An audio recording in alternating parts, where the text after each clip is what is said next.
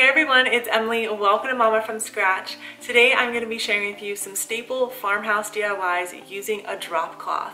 No, I'm not sharing with you drop cloth curtains. We have other really beautiful staple decor pieces using a drop cloth that we're going to be making today so that you can decorate your home year round. You can obviously customize these to different seasons if you want to and tailor them to your home decor style. But I'm just going to give you a couple of ideas and you guys can run with it from there. I am going to share with you how I bleach my drop cloth in case you haven't done that yet to get that really soft, beautiful material and lighten it up and make it really workable because let me tell you, when you get a drop cloth, they're very stiff and you're thinking, how am I gonna make this into something beautiful? Don't worry, I'll share with you all the little details on how you can create some beautiful farmhouse DIYs using a drop cloth. So if you're excited for today's video, give it a thumbs up, share it with your friends, and don't forget to hit that subscribe button join our family here for more DIYs and home decor related videos just like this. So let's go ahead and get started. So I'm going to show you really quick how to bleach your drop cloth. This is the color of it. It's very yellow and I'm just going to be using a two quart thing of bleach and we're actually going to cut this in half. So I have a top loader. I'm going to set the temperature to hot and I'm also going to put it on bulky. That way it knows because this is really thick. You'll find the center point, give it a little cut off the seam and then just rip it all the way down. It's really easy guys. I'm going to dump the whole thing of bleach in here just because it's such a large piece and then I'm going to stuff it all in and I'm going to let that soak Try not to get your hands in it because it obviously it's pure bleach pretty much. So um, use something to kind of make sure it's all submerged. And mine sat there for three hours until my thing drained and this is the way it came out. So obviously true white it's still a little bit yellow so I went ahead and put it into my laundry sink which is what I should have done to begin with. I let that soak for five more hours and this is the coloring of it. It's a nice beautiful white compared to the before on the left and then um, I have the other white material that I originally have is trying to get it close to and that's really a starky white. So it comes out really nice softens the material it's not stiff anymore really easy to work with. So there's a comparison before. Now we're going to jump into the DIY part. I went ahead and measured out about 13 inches of length on the um, drop cloth here and I just used my cutting mat as a reference point to make sure it was pretty much square. Now the one side was frayed which I actually liked so I'm going to mimic that on the other side and I left the one seam in you don't have to do that. Um, I'd actually suggest you cut it off and make your own seam because it's a little bit rougher looking than the one that we're going to sew. So I went ahead and just um, pulled it down and then I folded it under. That way um, it wouldn't fray on me. And then I went ahead and did a full line all the way down. I just have it set to a regular stitch on here. I don't do anything fancy with my sewing machine. I know how to sew, but I'm not super fancy at it. So we're keeping it really basic. I went ahead and cut off the end of it because that is sealed a little bit and to get those frays you're going to want to just start pulling out the little threads. You can use a, needle or some scissors to kind of pull, help pull it out a little bit but it will literally take you just a few minutes to fray the edges on it nothing too bad and if it snags no worry you'll just cut it off and keep going it's really easy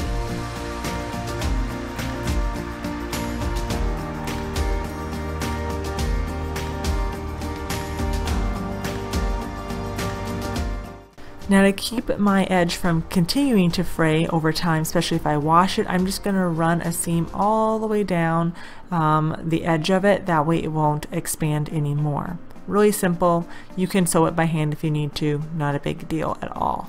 So now I'm going to take these Arteza fabric markers. I got these when I was doing the laundry room and I'm so excited to use these. Um, I am just going to be using this charcoal color here and it gives such a nice line. There's actually two different edges on the pins that they have. They're really easy to work with. They don't um, bleed out or anything like that. Um, it's basically like a really nice marker, but it's paint for fabric. So you can wash this and it's not going to come out or anything. I really like the control factor of this, especially using my little um, hard edge ruler here. That was definitely helpful. And so obviously I can only do 23 inches at a time, but that didn't really bother me. You'll see how I add a little bit of detail to connect the lines. It lined up fairly easy too. Um, I just did however many down the middle just so it was centered and then I straightened it out and then just started connecting those lines. This dries really quickly too. It didn't smear on me at all. Then to add a little more detail, I just added little dots on there to act as if I had stitched it on. And this is the way it looks when it's all done. I think it's a really beautiful, timeless table runner and it has that more of that hearth and hand look for about $2. For the next drop cloth DIY, I'm going to be making a pillow and eye inserts are 20 by 20 so my pillow cover will be 22 by 22 and you'll see why because I ended up fraying part of the edges on it and I wanted to make sure I gave myself enough room to do that. So the one piece is 22 by 22. The next piece I'm going to make about four inches longer because I'm not using a zipper on this pillow. It's going to be opening up from a flap in the back, basically an overlap. Um, it's really easy to do and it's a way to do it without having to buy a um, zipper. I don't have any of those on hand. I've had this fabric for bleached for about six months now and I'm finally getting around to using it so I'm really excited. Then I just folded that flap in half and cut that and that'll be the backing. So now for the fun part, we're gonna start painting our design onto our pillow cover. Don't be intimidated, it's really easy. I got some painter's tape. Um, if you have thinner painter's tape, that'll work also. Um, I only had thick. So again, using what I have on hand, I started playing with the design. I wanted one thick stripe going up and down and then some smaller ones and then we're gonna add a few more details in. So I had some black fabric paint that on. I will say I wish I would have done a little lighter touch on the black paint, not so thick. Um, I actually like it, the white fabric seeing through it, but this is all personal preference. So after I got done with that, I took off um, part of the paint and I realized, oh yeah, my lines weren't going all the way across. so um, I needed to fix that. So before I pulled off any more paint, I kind of realized what I was happening here. I added a little bit more fabric paint and to keep the lines super straight, I left the, um, the tape on there. So you can just work it as you go. Again, you don't have to do thick stripes like I am. It's completely up to you. You could put a saying on this if you want to for seasonal, for summer's coming up. There's lots of things that you can do here. And I'm just adding a little bit more and then I got my detail brush and just made sure to match up those lines really nicely. Works really well. If you're to do long areas, definitely use tape, but this is just fixing it as you can see here.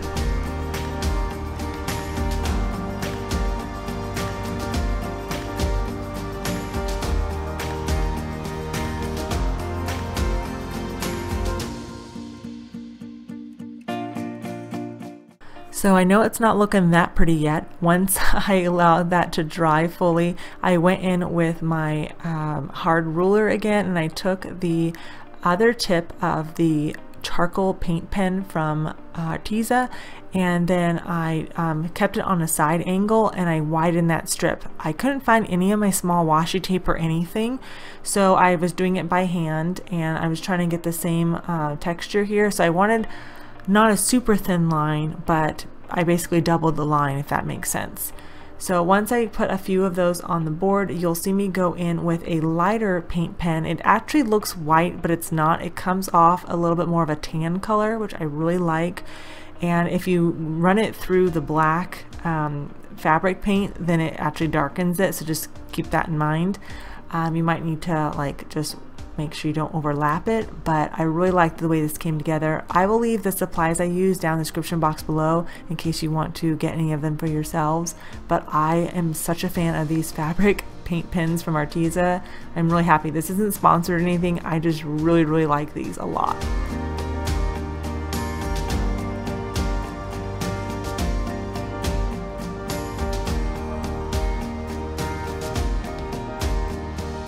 So now that the front of the pillow is all dried, I'm laying out my back pieces here. And you want to make sure that you sew the end seam because that is going to be open. And so all I do is I fold it over and then I'm just gonna run a seam all the way down. And that ensures that it's not going to fray when I wash it because yeah it's going to be washed and everything over the course of the time. So you can see how the first one's done trying to figure out which way I had my pattern going. And then the second one is done here. So now we are going to basically pin all around the edge, that way nothing moves on us. And then we're going to sew all the way around all four corners. But I ended up actually only sewing three of the corners and I left one open and you'll see why here in a second.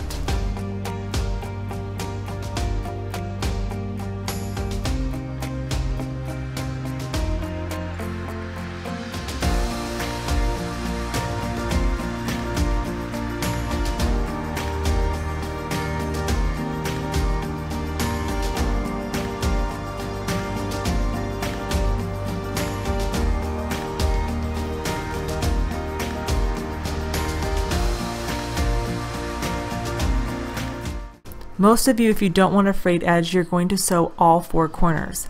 I left the one corner open because I decided to fray one edge and give it a different detail. So I went ahead and pinned it and then I sewed it front facing. So I'm not going to turn it inside out or anything for this and went all the way down, leaving about a good inch and a half or so. And then I'm going to pull those threads out and fray the edge, and I think it looks absolutely gorgeous. This is really popular right now. I've been seeing it a lot of places, like uh, McGee & Co. has it, Target has a few like these. I really like this design. And this took me a little bit longer because I had a couple edges to do, but just put on a good show or something and tear out all the little edges and you can see how cool this looks. I am so happy with this pillow. This will easily go for 30 to 40 bucks on Etsy. So if you want to sell this, you totally could. I'm just happy I made it for two bucks. Really love it. Now I decided to make another pillow cover. This one's going to be more of a lumbar, so it's 22 by 14. And then I went ahead and cut that in half. And then I um, decided to pinch the fabric in the front. So basically I'm just pinning it. I left four inch gap between the edge and the part that I am pinning. And I'm pinning this because I'm actually going to sew this and we're going to give it a little bit of detail. It's a really easy way to add a lot of detail to your pillow without a lot of work. Um, if you want to sew this, you totally can. If you don't have a sewing machine, you can use fuse tape as well. Although for this pinching, I would definitely suggest using like maybe a fabric glue instead. So I ended up with four equal. And so now I'm just running my um, thread down very very close to the edge like I'm leaving a very very maybe an eighth of an inch or so you want it to be very small otherwise your flap is going to be very large we don't want that at least I don't so I went ahead and did that to all four of my lines on the front of my pillow. So see how that looks? It gives a little bit of detail and it wasn't much work at all.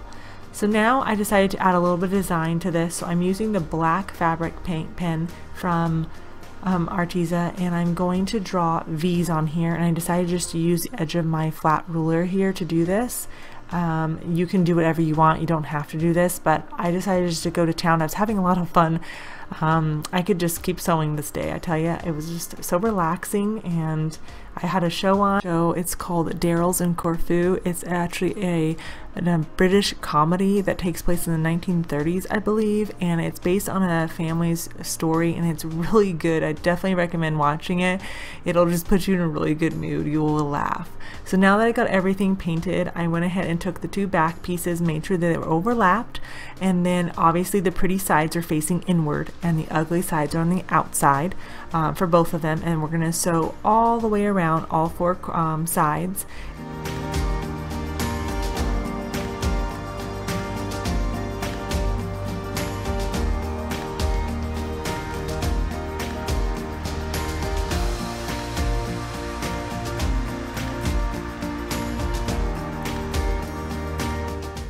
So once you get that all sewed, go ahead and turn it inside out and then you're just going to put your pillow insert and it turned out really cute. You don't have to paint it it would look good on its own but I love how easy these projects are and with all the fabric you get basically each project was like two bucks. I also made a placemat because I was having fun with paint pens. I did blue and um, black together.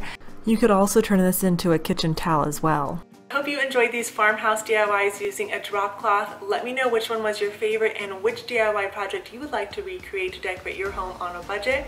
If you happen to miss my last few videos, they'll be here on the screen as well as in the description box below for you to get more inspiration with.